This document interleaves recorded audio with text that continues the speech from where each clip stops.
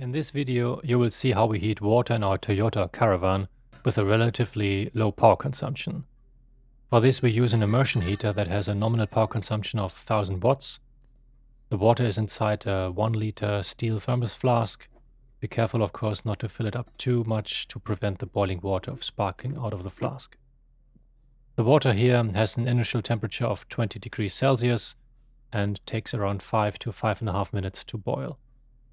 We successfully used the heater with different inverters. It also worked well on a relatively small model like the Votronic 1200 watts and the 12 volt 200 ampere Liontron battery without any issues. There are even immersion heater models with lower power consumptions, often with a portable denomination, but of course it will then take accordingly longer to boil the water.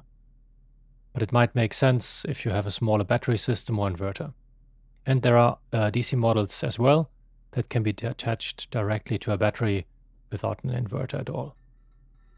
But the main point for us was that this immersion heater just fits perfectly into the flask, so after boiling we can leave the water inside the flask without the need for an additional pot and without having it to pour from one pot to the flask either. You can see that the heater has a small plastic hook that holds it in place so it does not touch the bottom or any side of the flask after use, the device is certainly hot, but um, it cools down quite quickly. If you use the water and empty the flask right away and do not have a proper surface on where to cool it, uh, you can stick it back into the flask for cooling, of course. And when not in use, um, the water heater takes nearly no space at all, or at least much less space than a normal electric water heater. Two years ago, this water heater cost us roughly around 25 Swiss franc. This is around 25 euros or 22 Great Britain pounds. This model is called Prosper Real, whatever this means. But as I said, there are plenty of different models out there.